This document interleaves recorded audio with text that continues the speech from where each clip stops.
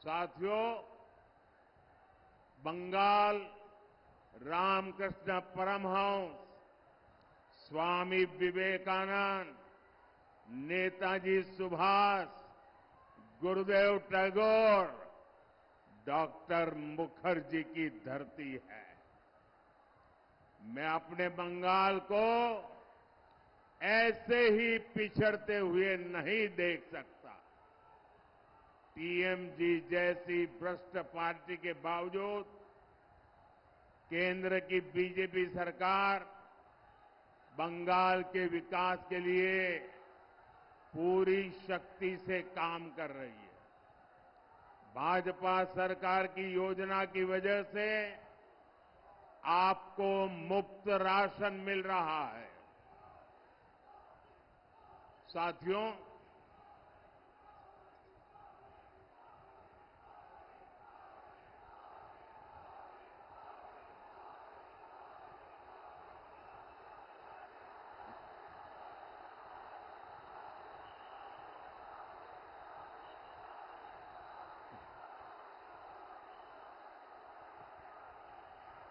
साथियों, ये आपका उत्साह, ये आपका प्रेम मेरे सर आँखों पर।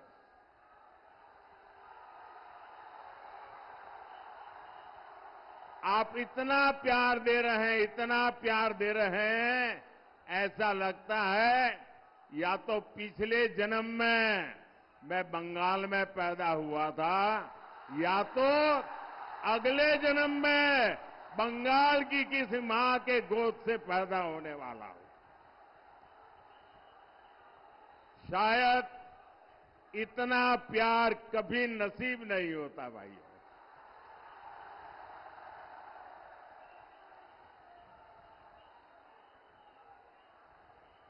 दोस्तों, लोग दूर दूर तक धूप में खड़े हैं।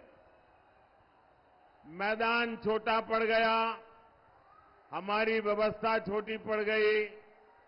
आपको तकलीफ़ हो रही है। जो धूप में तप रहे हैं, उनको तकलीफ़ हो रही है। ये जो आपको तकलीफ़ हो रही है ना, इसके लिए मैं आपकी क्षमा माँगता हूँ।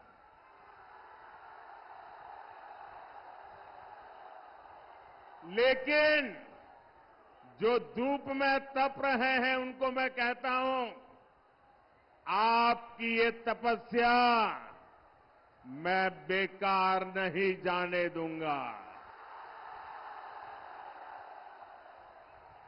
आप जो ये ताप में तप रहे हैं, मैं विकास करके आपके इस प्यार को लौटाऊँगा।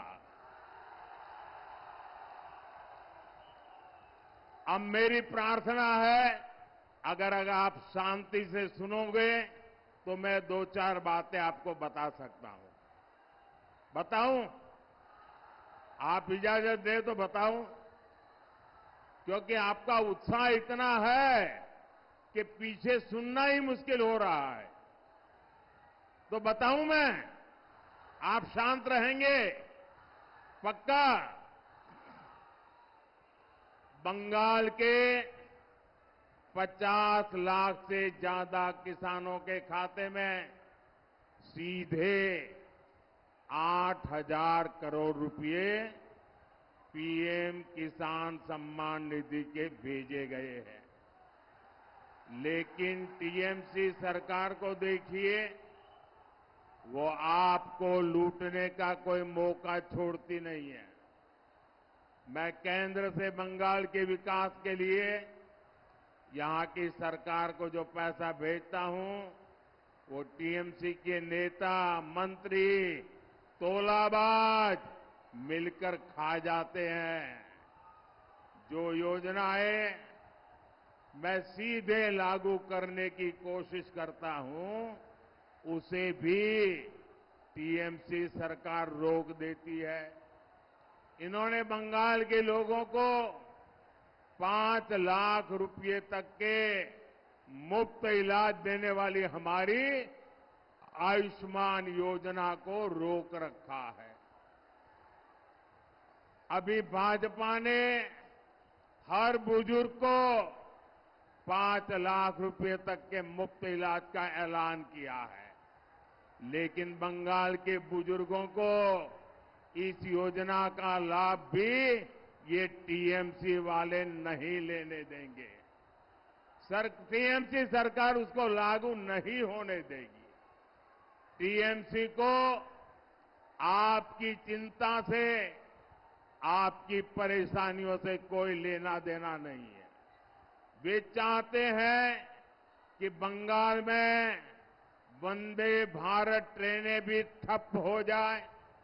हम कहते हैं कि हमारे मालदा के किसानों का आम और मालदा के किसानों का मखाना पूरी दुनिया में फ़ेमस है। उनकी आमदनी बढ़े, उन्हें ज़्यादा पैसा मिले। इसके लिए यहाँ फ़ूड प्रोसेसिंग इंडस्ट्री लगाएँगे। टीएमसी कहती है उसमें हमें हमारा कट मिलना चाहिए।